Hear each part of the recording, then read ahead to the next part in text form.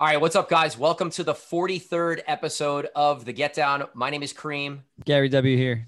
We are back to having a guest, and this week we have Purari. What's up, Purari? Yo, yo, pew, pew, pew, pew, doing the soundboard we just talked about. We need some sound effects going on in here. Gary, we gotta get the soundboard. Every single week we talk about it. it. Just hasn't been done. You know, just blame it on the finance department. I apologize. Yeah, well, gigs are coming back, so funds will be there. So Purari is yet another local New Jersey DJ who is a big artist and has records on all kinds of labels and is playing big shows. And it, it, really speaks to the talent that we have in New Jersey. And we really wanted to bring you on to talk about a bunch of stuff, but we sh- we work in the same market, so we're kind of going through a lot of the same things and and kind of leaning on each other to be like, hey, well, what is this venue doing, and and what should we do with the price at this venue? So, what what's your experience been with with your getting back to work?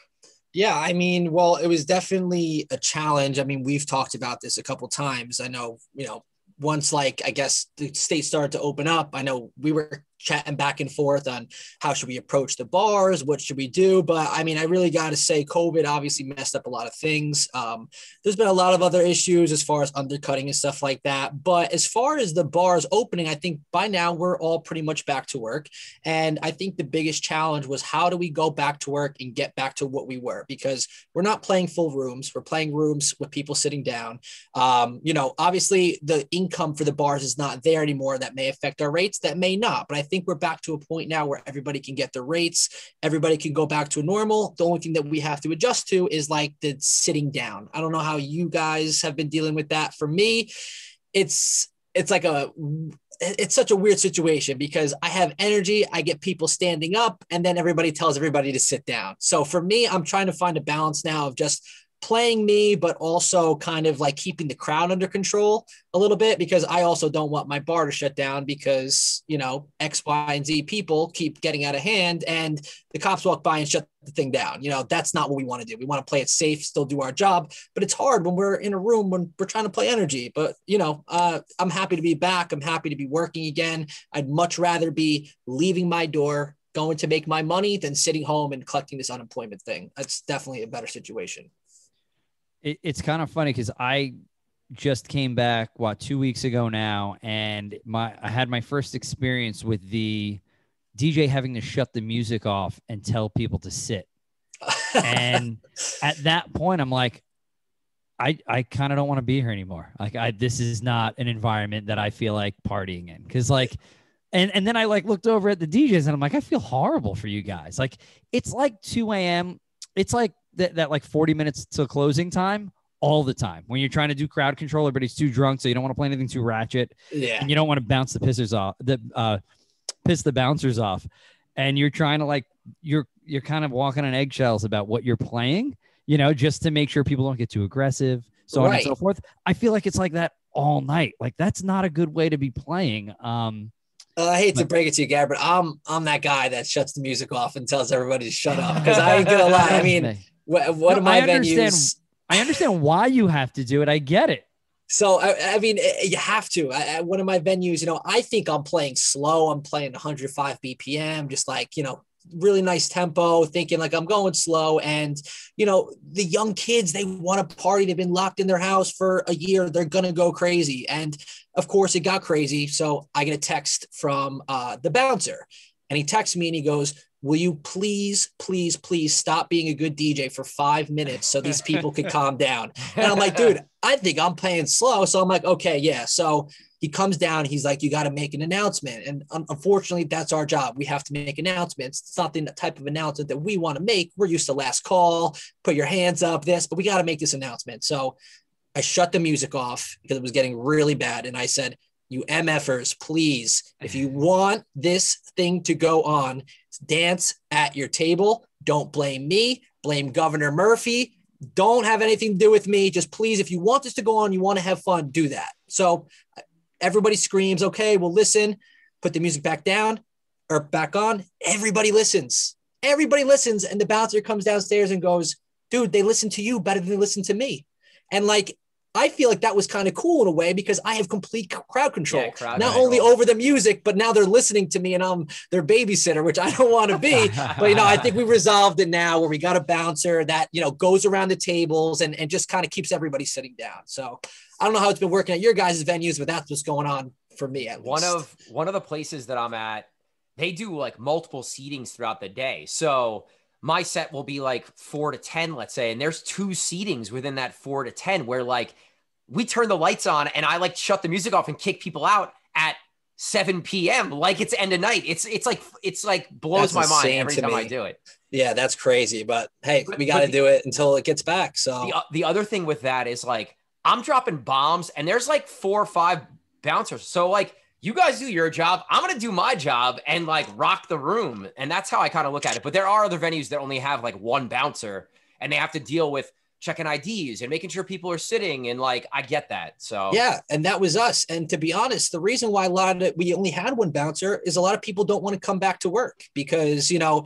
whether they're afraid of COVID or financially, it's not it's going to ruin their unemployment or whatever. And I understand that. I was in that position too, but it's going to be hard, you know, to get back to work. And for me, I was on unemployment just like everybody else, still making money, side hustles here and there, and we'll talk about that later, I'm sure. But when it was time to come back to work and the unemployment was from my understanding ending march 13th i was kind of already ahead of the game saying like okay gigs are coming back let me get back into my venues bef- and you know get back to work making just as much money as unemployment if not more before the next guy comes in takes all my gigs takes all my stuff and then i'm left in the dark and i think now if you're a dj and you're not back to work right now it's going to be very hard for you to get back to work and get a consistent DJ schedule because I know you and I have talked about there have been guys that since June that have been playing Thursday, Friday, Saturday. I'm lucky right now to even be playing a Friday and a Saturday like Yeah. consistently. And then there's other guys who are playing maybe three times a month, four times a month, and they want that work.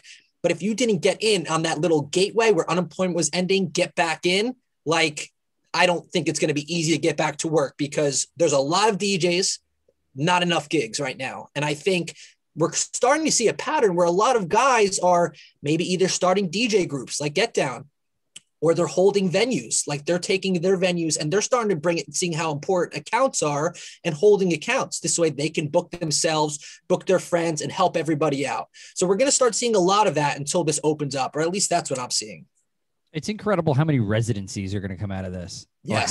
have have come out of this, you Yep. know, and how many like guys are riding riding dying by individual venues. yeah um, and vice versa. And managers are doing the same with with with DJs.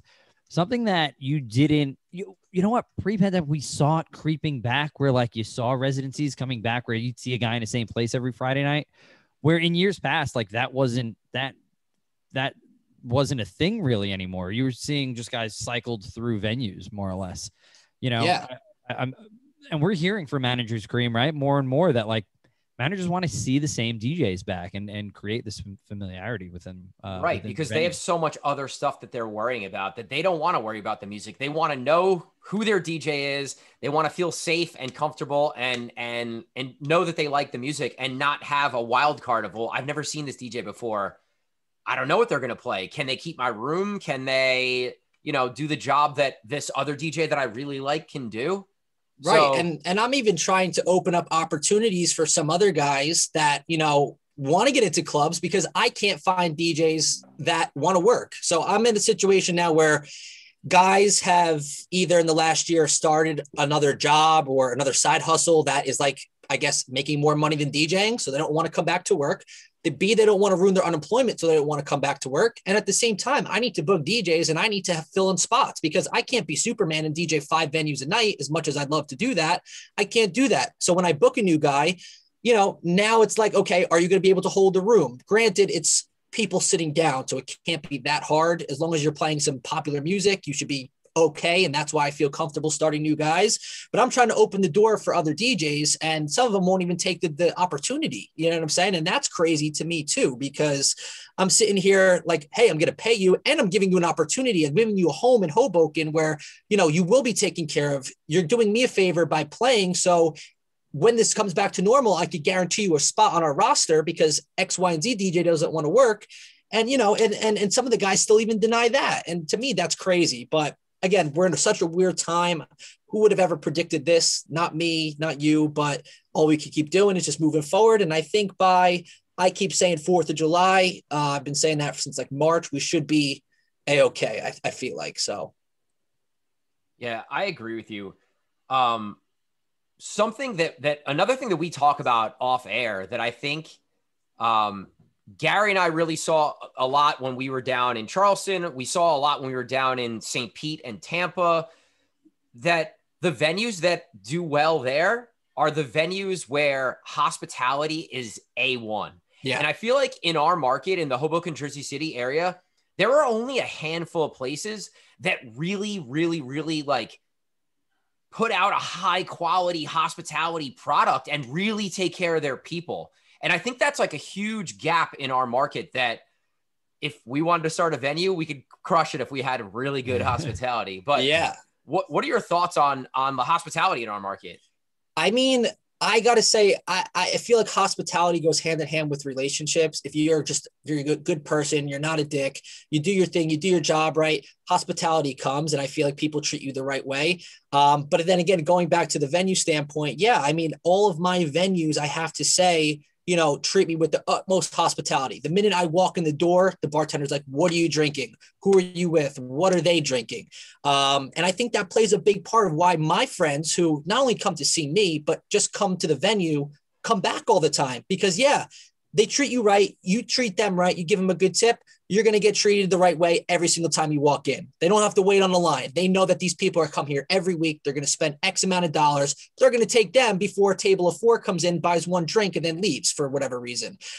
I think another trend that you guys are starting to see now too is a lot of the celebrity bartenders who do treat people right, whether it's whatever venue. So let's say it's uh, venue A and this bartender's there, and people go to see that bartender. They're actually now being like I guess like subletted out. I don't know how that works, but they're pl- they're they're hopping around venues and they're kind of being like celebrity bartenders by going to this venue, going to that venue, almost as an important job as us. Like if we have to bring in people, the bartender is going to bring in people as well. And I think that's cool that people follow those bartenders around now, which is awesome. Like I see a party that's happening this summer where, you know, DQ and like these guys are all bartending. And I'm like, that's dope. Like that's fucking cool that you're taking the people that are just in, as involved with the hospitality stuff and you're bringing them other places. You know, I think that's a dope thing that's happening right now. You hit on something that um, is really underlooked is staff taking care of the DJ's friends because like this is an easy way where like listen, you have that DJ back every week that if you take care of those friends, those friends will be back every week. The minute yeah. you don't take care of them, like, yeah, my friends have seen me DJ probably a thousand times, quite yeah. literally. like they don't want to come see me DJ again, but if you give them good drinks and good hospitality, they're coming back every time. I can, I can tell you that like the minute all of my close buddies finally moved to Hoboken in the same time I did, um, they were at Mills every week, whether I DJ'd or I didn't DJ. You know what I'm saying? they were there. And it wasn't just them. They were going to see the bartenders. This bartender would hook them up. This bartender would make them grails. It's not even on a thing that you could, you know, order at like, you know, Mills, but like they would make the drinks for DJs, like the grails, and people would chug them. And like that, that's the type of stuff that like my friends appreciate and always still go back. Now it's been five years since I've been there. My friends are constantly always coming back, even pandemic wise. You know, now my friends are just coming with eight people, nine people sitting at a table or whatever. And now instead of spending, you know, $50 a person here, they're running up a tab for $500, but they don't care because they're getting taken care of. Some of those right. drinks are comped. They run up a $500 tab. They're going to bring out a round of green tea shots for everybody because they know them. And I think that's what keeps people coming back is that good hospitality. See, that's that's something that happened to us in South Carolina. Him and I, Cream and I, weren't even DJing there, and the owners were coming up to us, being like, "You guys need drinks? You guys want drinks?" Same thing in St. Pete uh, at one of the venues that Cream was DJing at. The manager not only went up to obviously Cream, but up to me and my girlfriend. Were like, "You guys need anything? You guys good to go?"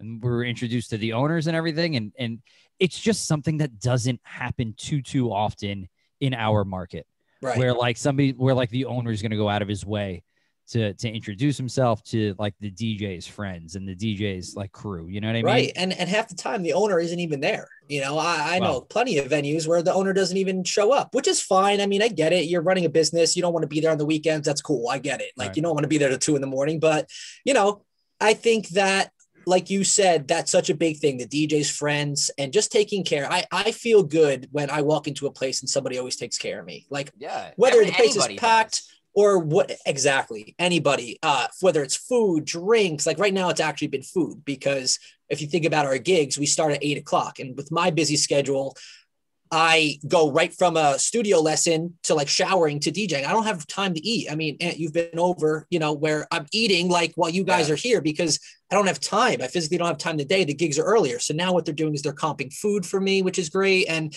you know i really you know i appreciate that and I'm sure they appreciate just as much as work they do for us and hospitality wise, we do for them too, as far as bringing people in and, and you know, tr- bringing people with respect, I think is a big thing too. You don't want to be that guy who brings five of your boys and they're breaking glasses and throwing shot glasses across or, you know, touching people. Like you don't want to be that guy. You bring in the friends that like, you know, take care and are respectful of, Right. of the other people working Right. And there know as how well. to tip and do Correct. all- Exactly. exactly. I mean, don't get me wrong. I've had my fair share of friends that, you know, will go get a drink for me. Uh, they'll say, Hey, can I get you a drink? I'm like, yeah. They go to the bar. They know that my drink is for free and they'll go ahead and try and order themselves a drink for free. They'll say, Hey, uh, you know, Mikey wants a pink lemonade and tequila. Like, and the bartenders will be like, Mikey hasn't ever drank that in five years. Mikey drinks vodka soda, and it's not even vodka; it's Tito soda. Like, and that's where like you know they've gotten in trouble, and you know that friend is no longer allowed to be out with me. You know, I've had people try and take advantage of that, and for me, not only does that make me look bad, but that makes me look at you different as a friend. Like, I'd rather you ask me, I'll get you the drink, than you try and go behind my back and try and be a cheap bastard and get yourself a drink. But it goes hand in hand, like I said. I, a lot of the times, like the hospitality, uh, the owners might not be there. So maybe there's like a manager, a kind of like face of the venue that knows everybody, that's shaking hands, that's giving free shots out, that's helping people cut the line or get a table. And like, if you're a venue, you need that person. You need the person that anybody online knows, oh, that's so and so. He's the person you need to know in order to be able to party at this place. Right. And like if you don't have that, if you're a busy place, I feel like you're you're kind of like missing out. Or and if you're not busy, that might be the reason why you're not busy because you don't have that face of your franchise, so to speak, you know? Agreed. Agreed. Hundred percent. Gary and I had an incredible hospitality experience a couple weeks ago. It was in between gigs, and I was telling Gary Gary about this pizza place in Hoboken that opened maybe a year ago. And to me, it's like the best pizza in New Jersey. It's uh-huh. incredible, and it's 10th Street Pizza and Pasta. It's uh, the same owner as 10th and Willow in Hoboken, and we went up Love there that place. it was packed, right? And w- the manager there used to be a bartender at 10th and Willow. He used to work with me somewhere else. I didn't even remember him because I'm an asshole, but he literally was like, Oh, Kareem, Gary, you guys are waiting for a table? I got you. Literally goes across the street, grabs a table, carries it from 10th and Willow, Yep. puts it down, grabs two seats, and makes us a table like in the middle of nowhere They on brought a a, busy ass Saturday night. they brought a heater over and everything. Yeah, like, it was- it Yeah, works. dude. it's, it's crazy how that works because I had a similar experience a couple months ago. I was I was out to eat with uh, my girlfriend, my brother, his girlfriend, and her parents, uh, and my parents, and we went to a restaurant in Montclair, De Novo, and yeah, I walk is good. in and we're waiting for a table. Place is packed. Like, you know, we're waiting for our table, five ten minutes on the reservation still. And this dude comes up to me and he goes, Yo, Mikey, I know you. He goes, I used to bartend at Rain and you used to play at Rain. And I was like, oh my God. Like, I, of course, I'm an asshole too. I was probably drunk before I, before I even showed up to Rain. Dude, how are you? Blah, blah, blah. We exchanged Instagrams. Next thing I know, we had a table like that. Yeah. Boom, done, done, done. But it goes to show that, you know, just not being a dick in general goes to pay off other places because you never know. Hospitality industry is not just clubs, it's restaurants, it's this and that. You go to Vegas, right? It's not just, oh, Hakkasan. I'm going to Hakkasan. I'm going to the club. No, Hakkasan now merged with Tao. So now it's all um, you know, Hakkasan, the restaurants, the the the Beauty and Essex, like all that stuff, all plays hand in hand. So you never know people hopping around the hospitality industry where they're going to end up, whether it's a bar, a nightclub, and I feel like it's going to be like that for the rest of my life, where I'm going to walk into a spot and I'm going to know somebody there that used to work at a club with me, like you said, or a bar, and take care of me no matter what, and it feels good, and that makes me want to come back, and I'll go back to that restaurant a thousand times. Right. And it makes you want to spend money and tip and take care of people and like send a party there to book a 50 person party. Like they're going to make their money back by, by doing very small things to make you, the customer, feel, feel a little special. And I really feel like the nightlife industry really needs to focus on that right now. They want people to come back. You have to make people feel special.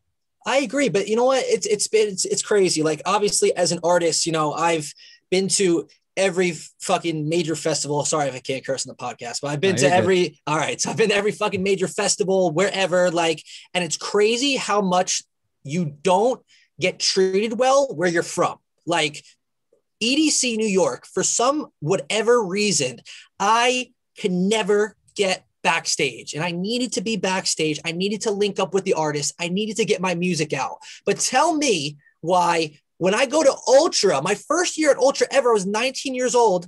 I get on the stage every year, backstage at the worldwide stage, this stage, all because I DJ'd in New Jersey at Bliss.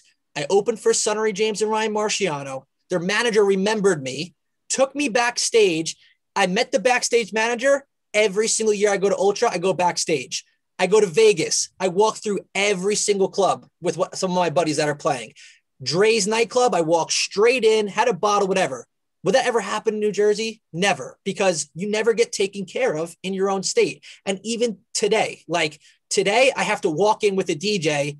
I have a better chance of getting behind the booth or whatever, walking in with the headlining DJ than I do if the promoter walked me by because it's an ego thing. They're like, oh, I'm not going to walk him back here. He's just a New Jersey DJ. But then here I am walking around with like one of the biggest artists in the world, Laidback Luke, MAKJ, whoever. And I look at the promoter and I give him a little smile, like, why didn't you take care of me? Like I was gonna come back here anyway, you know, and it's happened, it happens all the time. And I always remember that EDC thing. Like it it made me so mad, I remember. and I always said, like, I'm gonna become so big, like it fueled my fire. Like I'm gonna become so big that I'm going to be the artist that's going to be back there and I'm going to wave at you when you're grabbing my bottles and you're bringing them to me. You know what I'm saying? So it's just a weird thing. I don't know what it is. New Jersey egos.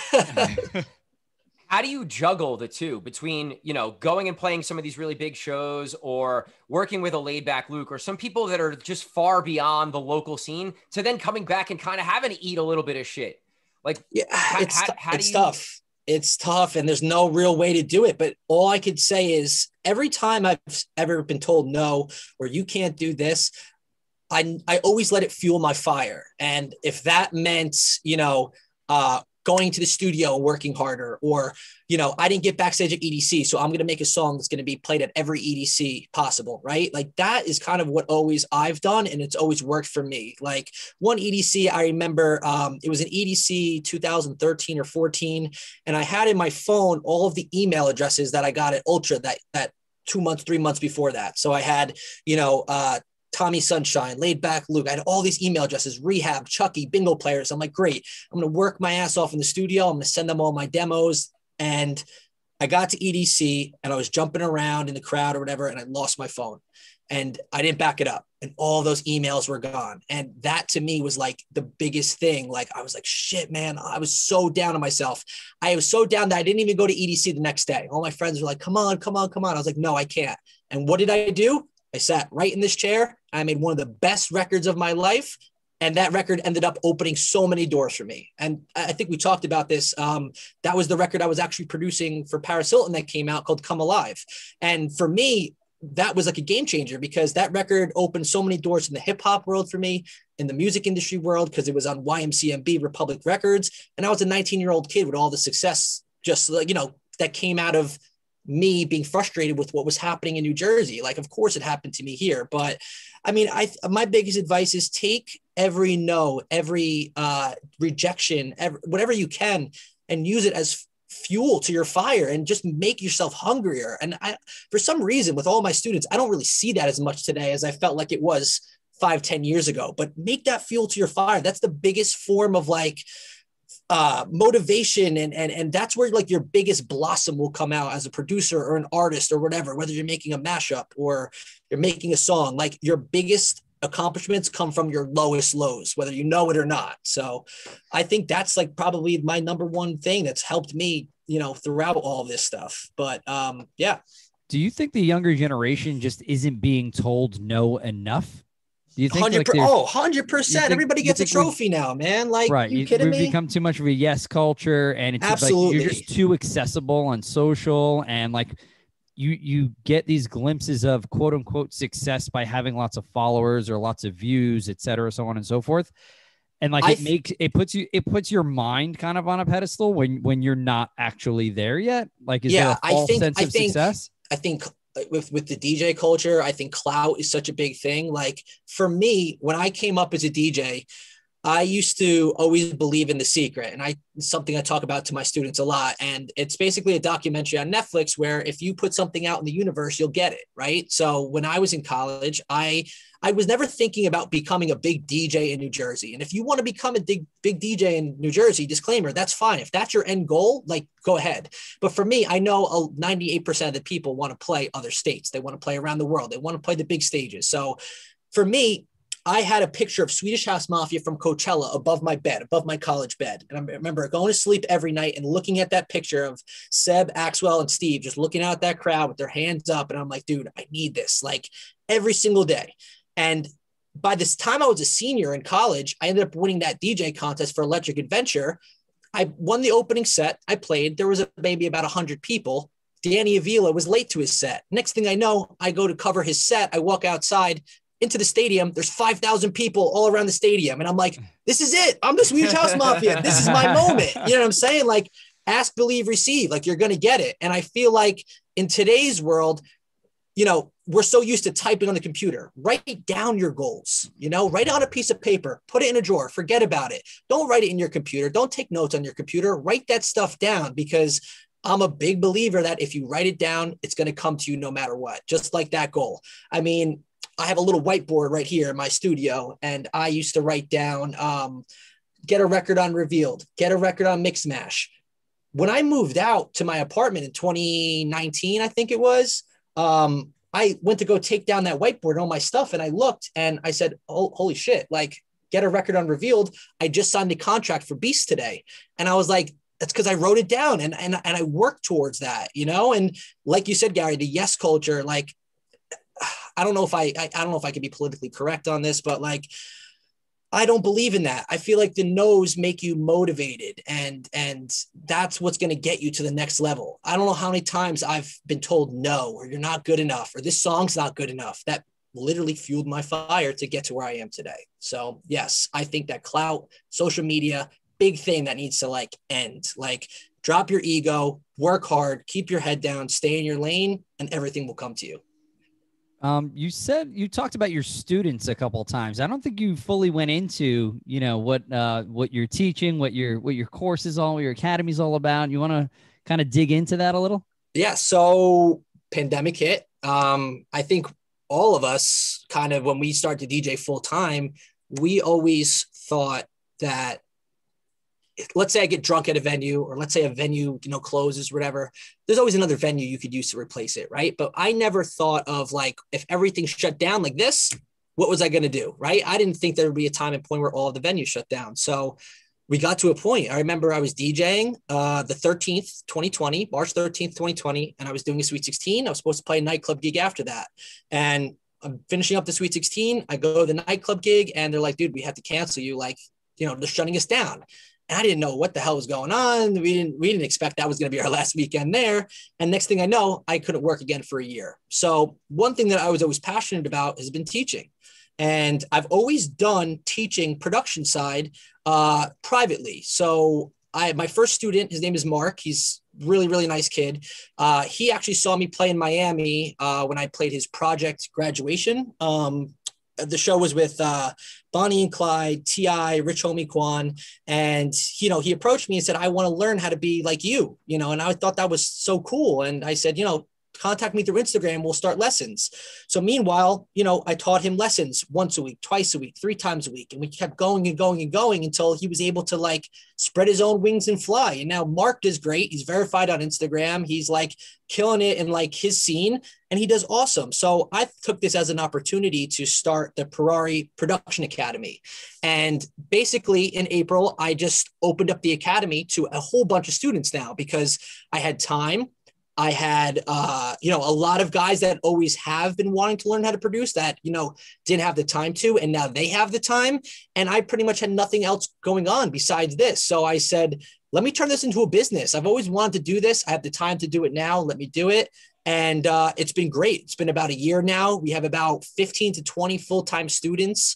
Um, obviously, a lot of the lessons are online. I'm going to start to do in person lessons the more uh, people get vaccinated.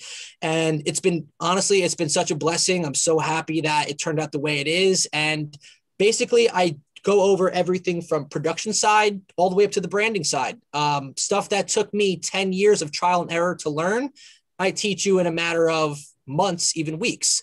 Uh, I think now, I think four or five of the students already have their first or more record signings ever. So that means they have two or three record signings, and there's more coming. I just had another student sign a record contract the other day, and the the price that or the the look on their face that like they get when I tell them like, hey, your record's been accepted on this label is just like so priceless to me. Like I love it. It's like it's it, it means the world to me. And and here we are. I'm back to work and I'm still doing the lessons and I, and I'm busier than ever. I mean, like yeah. I said, I don't even got time to eat. So I was gonna say like we we're gonna plug the academy. I don't even know if you could take any more students. I can't. I can't. I really can't. And and and what's what's uh what's unique about this academy is you know, a lot of guys sell master classes online. They do this, they record a course or whatever. But my academy is different because I take my time out of my day and it's a one on one session and it doesn't cater to like, okay, let's program a kick or let's throw in a clap and let's do this. It takes your skill level into account I look at you and say, this is what you need to work on, and we work from there. So if you have a intermediate uh, foundation or a beginner foundation or an advanced foundation, I have students in all three categories. I cater to you that way. Um, and I think that's been a, a big thing on why people come to me rather than buy one of these $300 master classes because they get live one-on-one time with me and it's been it's been great like everybody has access to YouTube, everybody has access to a master class, but like when you get one-on-one, like real person-to-person uh, lessons in anything, it's pri- it's absolutely priceless. Like yeah. it, it, you know, because you can advance so much more uh, quickly and efficiently by working with somebody who is going to cater to your skill set, like you're saying. Yeah, and, and it's, it's, it's always worth it and I think a big part of it also is um, like the branding part of it too, because a lot of guys think it's just making music and that's it. But branding is such a big thing today um, where like you have to do something other than make good music in order to stand out. So something that I talk about for myself is the way my Instagram is branded is I'm always showing off a rare pair of kicks or I'm wearing this cool outfit. So, for example, somebody that doesn't maybe know me as a DJ but is into sneakers may find my page from sneakers and they might become a fan of my music just because they like my sneakers or something like that. And that's just me. But like what makes you you? Are you into Gary, you have a Mickey Mouse behind you. Are you into Disney? Like, are you into this? Are you into that? Incorporate that into your into your brand and make it you. And that's something that I think um, a lot of the guys underestimate and are learning now with the academy. I mean, it's it's even as simple as a logo. You know, how many guys do we know that DJ four or five nights a week, but their logo is made by like a two year old or like a, a, a you know a DaFont random font. Like invest in yourself, pay for a logo, get somebody to design you a logo. This way, when you do show up on a flyer, you have some unique branding that only you have. I mean, even this year, this year I even paid for my own logo uh, to get redone because I felt like my brushstroke logo as Purari wasn't my identity anymore. And you know, times change. You got to get up with the times, and it's something that I think a lot of guys overlook that should be should be uh, shined a little bit more light on. Yeah, I think the coaching aspect, it's it's funny because all three of us have that teaching coaching background in some way, right? Yeah. Like Gary was, a, Gary was a teacher. I used to coach basketball. Both my parents were teachers. And it's funny how like when everything went to shit, we turned to our roots of like coaching and teaching to kind of honestly like it gave me something to do and and something that drove me every day to wake up and, and focus on. And it's something that we're passionate about. And it's something that we have a depth of knowledge that we can help a lot of younger guys and girls to maybe take the next step or get to where they want to go and reach some goals that maybe they never thought they could reach. So when when you talk about um, you know records getting signed by some of your students, when when some of our guys accomplish some of their goals, it's like the same feeling. I'm like a proud Yeah. papa. It's such a great feeling. And it's dope. It's cool. it's, it's so fucking cool. And and like I, don't know, what would you guys do if like you didn't have another hobby like in this pandemic? Like what the uh, I'm try, I think every day, what would I do? Like be, if I couldn't produce, would I play Xbox every day? Would I go get a job? Like what the hell would I do? You know, this is my life and the fact that this pandemic stopped my life both working and hobby wise was like crazy so i had to do something and and like i said it, it just feels so good when you're helping the next guy it could be the next tiesto i don't know you know i don't know if i'll be able to inspire the next tiesto or the next you know biggest hip hop artist but to know that i had a part in in in their role and their success uh, it just it's such a good feeling and and i get more joy out of it more seeing these guys succeed than you know seeing a couple extra dollars in my bank account to be honest so That's awesome, man. So let, let me ask you this. If if people are listening right now and they want to work with you, are you do you have like a like a wait list? Are you are you taking anyone else? What's- Honestly, yeah. I mean, it, it's depending. Like, uh, I'm actually changing the schedule around again this week, but um, I would say definitely just inquire. Uh, info at PurariDJ.com. Um, that's the best place to reach me. If we could get you in, great. But like I said, it, it, it is pretty full right now, and going forward, my future plans are yes, we are going to make a master class, and we're going to record something like that. But as far as my time, again, we talked about this just before. I'm not Superman. I can't be here 24 7, 365. Yeah. Um, but, you know, I am having an intern come in, um, just like, you know, you guys had in the past. I'm going to have my cousin come in. He's going to school to be uh, like a like an audio engineer, I think, or something like that. So he wants to learn the business. And I think uh, May 17th, I think is the date. So I'll have somebody else helping, just learning, helping around with the daily tasks, and hopefully that will relieve me to do some other things, which will be great. So a lot of cool It's- things happening. it's funny. It's I'm interested to hear what you think of having an intern too, because it's like the same thing. Because it's not someone that's paying you for your services or for your knowledge. It's someone who's like gonna help you and learn from you for free, but Yeah. in turn, you know, they're getting all that knowledge anyway. So it's interesting. And like the guys that we work with, like, I don't know, we we want them to succeed more than I want myself to succeed almost. yeah, it's.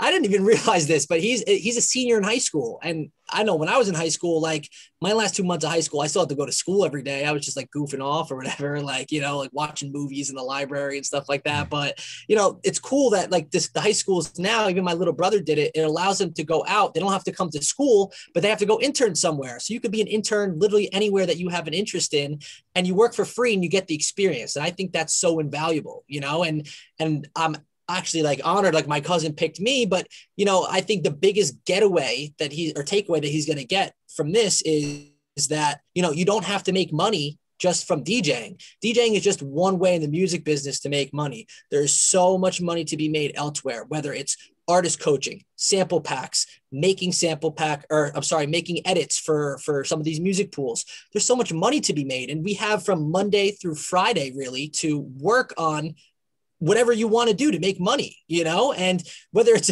I mean, I make logos for other DJs, I make flyers for other DJs, stuff that I do for myself turned into a business where I make other, you know, I make money doing for things for other people that they can't do.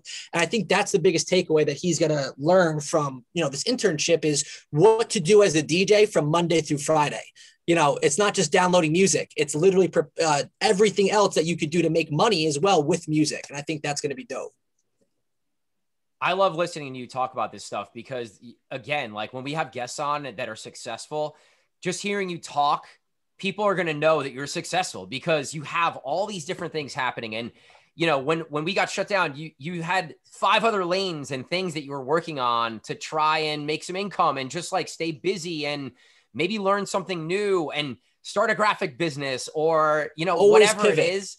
Always I- I pivot, that Gary. You so know, much, man. you guys know with basketball, always pivot. You know, there's always another way you can go. Somebody's blocking you. There's always another way you can get around the guy, right? So it's so important, man. And I have a student now. He's learning C. I, again, I have nothing to do with this, but he's learning CGI, and he just showed me this music video he made for one of his songs that I helped him work on.